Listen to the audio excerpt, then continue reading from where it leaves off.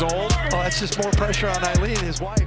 By his team, they are not playing afraid. Bernard inside, couldn't finish it, gets it back. Second bite of the. As UCLA needs to clean up foul shooting, one of them too. Only 57% as a team here early in the season. And UCLA only shooting 33% from out.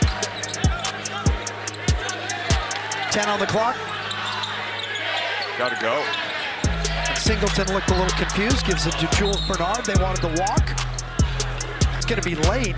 It's going to be an 11 o'clock start. He said, he said, Alex is trying to stay up late tonight. So Alex, if you're years old, oh, that's just more pressure on Eileen, his wife, right? Because then you got tired kids. Well, tomorrow's the weekend. Saturday, let, let them sleep in. That's right. Yeah, let them stay up. playing the score. They thought the game was over, so it got Yeah, you're sloppy. right. You're right. They're so, up 15. like, I'm not jumping to conclude. Not right to start the game. St. Francis jumps on them. But then once you, if no second guy comes, then you're going.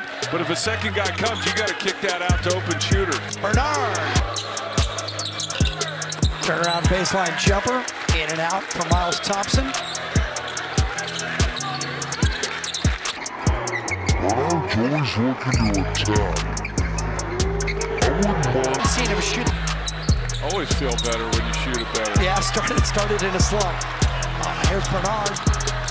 Protects with the body. Gain from the experience. That's what Rob Krimmel, the St. Francis head coach, was talking to his guys about. I think they'll gain from the entire experience, being out here, Yep. practicing. Seen it up close.